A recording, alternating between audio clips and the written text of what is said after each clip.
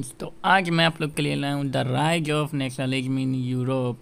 यानी कि नेशनलिज्म का यूरोप में कैसे राइज किया था। तो यहाँ पर आप लोग को एक फिगर दिख रही होगी। आप लोग देख सकते हैं इस फिगर में आप लोग को क्या दिख रहा है। तो आप लोग को फिगर में यहाँ पे आप लोग देख सकते हैं एक गॉड दिख रहा होगा यहाँ पे और एक स्टैचू ऑफ़ लिबर्टी दिख रहा होगा। कुछ फ्लैग्स दिख रहे होंगे। यहाँ पे जो बहुत सारे आप लोग को कंट्री के लाइन दिखाई दे रहे होंगे। यहाँ पे जो दूर से चली आ रही है और इसको होमिज देते हुए यहाँ से जा रही है। तो यहाँ पे यहाँ पे आप लोग देख सकते हैं फैरिक सोरियो ने यहाँ पे आप लोग को क्या क्या बताया है। तो यहाँ पर क्या किया है उन्होंने?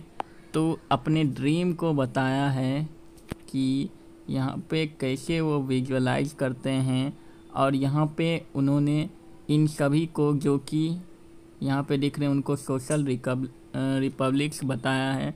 और इसमें जो फ़र्स्ट पॉइंट क्या दिया गया है, जो अमेरिका और यूरोप के जितने भी मैन और वोमेन हैं, किसी भी क्लासेस के हैं, कोई भी हैं, वो एक लॉन्ग ट्रेन में जर्नी कर रहे हैं और होमेज देते हुए जा रहे हैं स्टेचू ऑफ़ लिबर्टी को।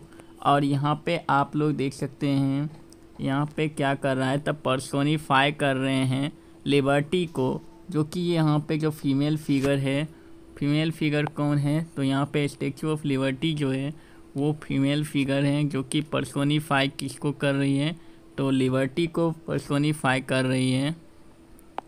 और यहाँ पे उसके बाद दिया गया है कि here you recognise the torch of enlightenment she bears in one hand and charter of rights of man in other यहाँ पे इनके हैंड में आप लोग देख सकते हैं टॉर्च ऑफ़ इनलाइटमेंट और यहाँ पे इनके एक हाथ में टॉर्च ऑफ़ इनलाइटमेंट है और एक हाथ में charter of charter of man rights दिया गया है।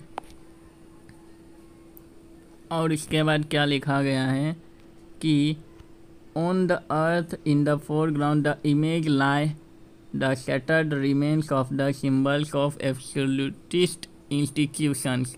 यानी कि यहाँ पे जो आप लोग देख रहे हैं यहाँ पे यहाँ पे जो शटर्ड है नीचे में दिया गया वो क्या है तो एब्सोल्यूटिस्ट जितने भी थे उन सारे के रिमेन्स दिए गए हैं यहाँ पे नीचे में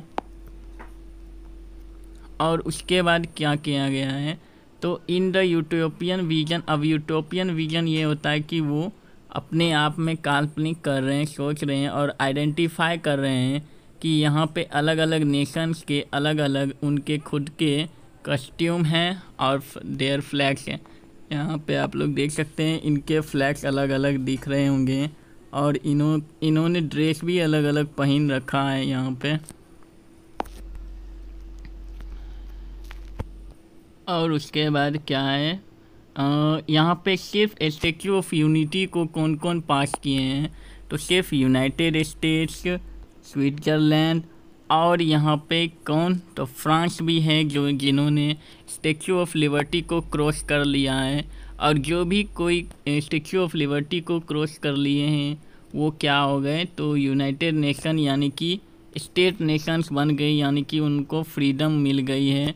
अब यहाँ पे आप लोग देख सकते हैं जर्मनी का जो फ्लैग है वो कैसा है? तो the black red and gold flag gold flag यानी कि उनकी जो फ्लैग है वो गोल्ड ब्लैक और रेड कलर से बनी हुई है। और यहाँ पे जो इमेज बनाई गई है वो इनके द्वारा बनाए गए तो शोरियों ने क्रिएट किए हैं।